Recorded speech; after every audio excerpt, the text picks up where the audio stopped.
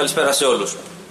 Και ευχαριστώ τους ε, επισκέπτες ε, που τίμησαν την εκδήλωση, την κυρία Ραγκούση για την ε, πρωτοβουλία. Ήταν μια πολύ καλή κίνηση που πιστεύω ότι είναι καλό να επαναλαμβάνεται σε πολλά πράγματα που απασχολούν τον τόπο.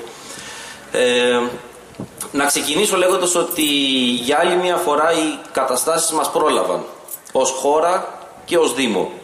Ε, αυτό σημαίνει ότι αναγκαζόμαστε να διαχειριστούμε ένα πρόβλημα το οποίο όλοι το καταλαβαίνουμε και όλοι θεωρούμε ότι είναι πρόβλημα και για εκείνους τους ανθρώπους αλλά και για την χώρα μας που καλείται να το διαχειριστεί χωρίς να έχουμε ακριβώς το σχέδιο που θα το διαχειριστούμε. Χωρίς να έχουμε ίσως και στο περίπου το σχέδιο που θα το διαχειριστούμε και το τι θα επακολουθήσει. Και αυτό ακριβώς ε, βλέπουμε και στην ε, απόψινή συνάντηση με τις ανησυχίες του κόσμου με τις ε, τοποθετήσεις των εκπροσώπων των φορέων οι οποίοι πραγματικά κάνουν ό,τι περισσότερο μπορούν, αλλά δεν έχουν την εικόνα ή ο γραμματέα του Υπουργείου, θα βγει μια ε, απόφαση κανονιστική για το πώς θα λειτουργήσουν αυτοί οι χώροι τις επόμενες μέρες.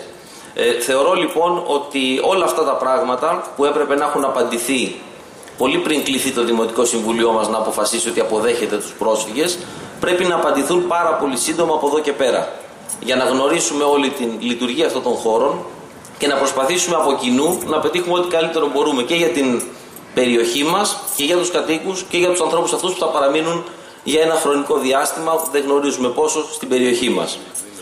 Ήθελα να κλείσω λέγοντας ότι και την προηγούμενη φορά που είχε γίνει μια αντίστοιχη άφηξη προσφύγων στην, ε, και πήγε οδηγήσει στο λιμάνι της Ραφίνας και οδηγήθηκαν στη Διόνη η πολιτική προστασία έκανε ότι πραγματικά περισσότερο μπορούσε.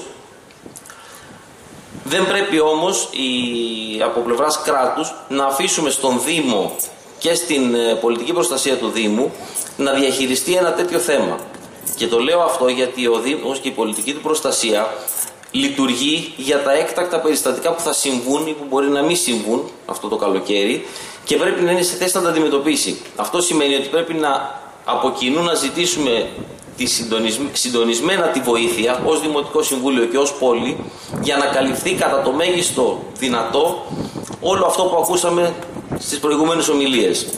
Ικανοποιητική παρουσία πυροσβεστικής δύναμης, υγειονομική περίθαλψη σωστή για τους ανθρώπους που είναι μέσα αλλά και για την ε, περιβάλλουσα περιοχή, κανόνες λειτουργίας, ε, αστυνομική δύναμη και ενίσχυση του αστυνομικού τμήματος, ο δοφωτισμός που ακούστηκε, οι ασφαλτοστρώσεις και όσα άλλα πράγματα μπορούμε να διεκδικήσουμε και είναι θεμητό και καλό να τα διεκδικήσουμε.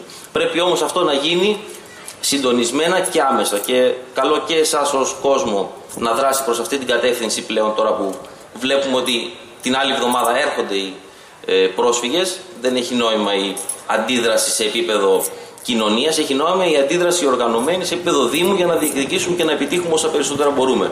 Και είμαστε αλληλέγγυοι και στο πρόβλημα του κόσμου αλλά και στην ε, Δημοτική Αρχή για να πράξουμε το καλύτερο δυνατό. Ευχαριστώ.